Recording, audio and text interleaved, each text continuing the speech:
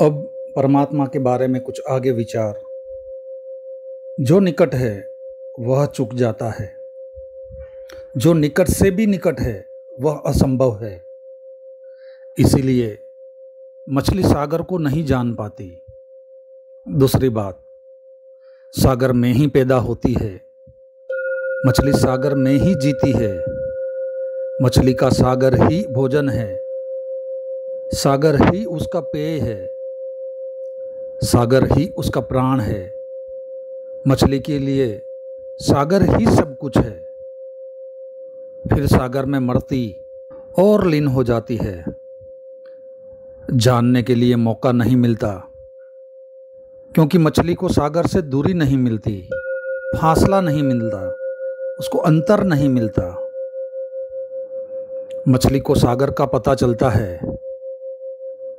तब अगर कोई उठाकर उसे सागर के किनारे फेंक दे, तब भी। यह बड़ी उल्टी बात हुई।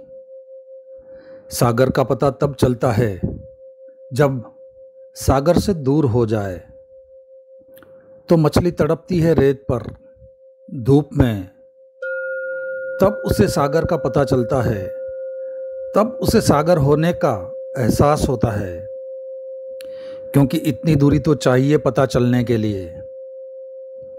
पैदा होने के भी पहले जो मौजूद था और मरने के बाद भी जो मौजूद रहेगा और जिसमें ही पैदा हुए और जिसमें ही लीन हो गए, उसका पता कैसे चलेगा? पता चलने के लिए थोड़ी बिछड़न थोड़ा बिछो होना चाहिए, थोड़ा अंतर होना चाहिए, थोड़ी दूरी होनी चाहिए। इसीलिए मछली को सागर का पता नहीं चलता। किनारे पर कोई फेंक दे तो ही पता चलता है सागर का। आदमी की और भी मुसीबत है। परमात्मा सागर ही सागर है। उसका कोई किनारा नहीं। जिस पर आपको फेंका जा सके। आप तड़पने लगे मछली की तरह। ऐसा कोई किनारा होता तो बड़ी आसानी हो जाती। ऐसा कोई किनारा नहीं। परमात्मा सागर ही सागर है। इसीलिए तो जो परमात्मा में किनारा खोजते हैं, वे उसे कभी नहीं खोज पाते। जो परमात्मा की मजदार में डूबने को राज़ी है, उनको ही उसका किनारा मिलता है। किनारा है ही नहीं, उसे खोजने का कोई उपाय नहीं है। और किनारा हो भी कैसे? सब चीज़ों का किनारा हो सकता है। समस्त का किनारा नहीं हो सकता, क्योंकि किनारा बनता है किसी और चीज़ से। नदी का किनारा बनता है, सागर का किनारा बनता है और चीज़ से। परमात्मा के अतिरिक्त कुछ और नहीं है जिससे किनारा बन सके। परमात्मा का अर्थ ही है इतना कि जिसके अतिरिक्त और कुछ नहीं है।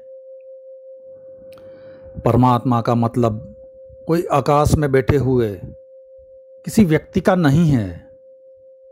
जो जगत को चला रहा हो, ये तो केवल बच्चों की कहानियाँ हैं। परमात्मा से अर्थ है उस तत्व का, जिसके अतिरिक्त और कुछ भी नहीं है। यह उसकी वैज्ञानिक परिभाषा हुई। परमात्मा का अर्थ है समस्त, सर्व, सब कुछ, जो भी है, जो भी है उसका कोई किनारा नहीं हो सकता, क्योंकि उसके अतिरिक्त कुछ किनारा बनने को बचता ही नहीं। इसीलिए परमात्मा मझधार है। वहाँ कोई किनारा नहीं है। जो डूबने को राज़ी है, वही उबर जाता है। और जो उबरने की कोशिश करता है, वह बुरी तरह डूबता है। कोई किनारा हो तो पता भी चल जाए। इसीलिए हमें पता नहीं चला है। उसी में हम हैं। जिसे हम खोजते हैं, उसी में हम हैं। जिसे हम पुकारते हैं, उसे पुकारने की ज़रा भी ज़रूरत नहीं है। क्योंकि इतनी भी दूरी नहीं है कि हमारी आवाज़ हमें ज़ोर से पुकारनी पड़े। इसलिए कबीर ने कहा है कि क्या तुम्हारा खुदा बहरा हो गया है, जो तुम इतनी ज़ोर से अजान पढ़ते हो?